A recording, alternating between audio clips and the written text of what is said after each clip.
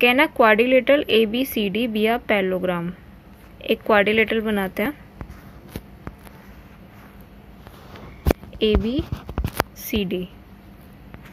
अब इसमें क्या बोल रहा है ये? कि एंगल डी एंगल डी और एंगल बी। 180 डिग्री के इक्वल है।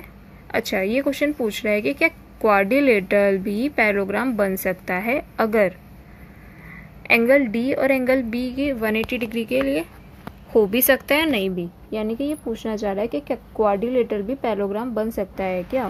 पैलोग्राम की तीन प्रॉपर्टीज़ हमें पता है।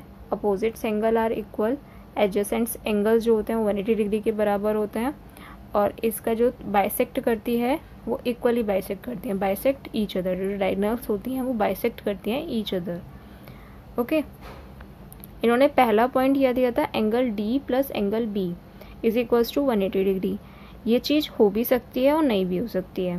मतलब कि ये क्वाड्रिलेटर को पैलोग्राम बना भी सकती हैं और नहीं भी। मे बी अब ये नेक्स्ट पार्ट इन्होंने क्या बोला कि A B is equals to D C सही बात। A B is equals to D C eight centimetre और एट सेंटीमीटर नेक्स्ट इन्होंने क्या बोला कि ए डी जो है फोर सेंटीमीटर है और बी सी क्या है फोर पॉइंट फोर सेंटीमीटर है, जो कि पॉसिबल नहीं होगा, क्योंकि हमें पता है कि अपोजिट्स साइड्स भी इक्वल होती हैं, जिस तरीके से अपोजिट एंगल भी इक्वल होंगे।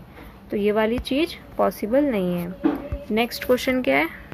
नेक्स्ट पार्ट है एंगल ए और एंगल सी यानी कि एंगल ए जो है, वो कितना है? सेवेंटी डिग्री और एंगल सी कितना होना चाहिए? सेवन सिक्सटी फाइव डिग्री जो कि पॉसिबल नहीं है, क्योंकि हमें पता है कि पैलोग्राम की प्रॉपर्टी जो है opposites angles are equal but ये भी पॉसिबल नहीं होगा। फ़र्स्ट वाला पार्ट हो भी सकता है क्वाड्रिलेटर को पैलोग्राम बना भी सकता है, और नहीं भी। इट्स मे बी लेकिन सेकेंड वाला और थर्ड वाला, ये पॉसिबल है ही नहीं कि वो क्वाड्रिलेटर को पैलोग्राम बना सकता है। ठीक है? ये नहीं होगा। ये पॉसिबल नहीं है इन दो कंडीशंस के अंदर। Okay next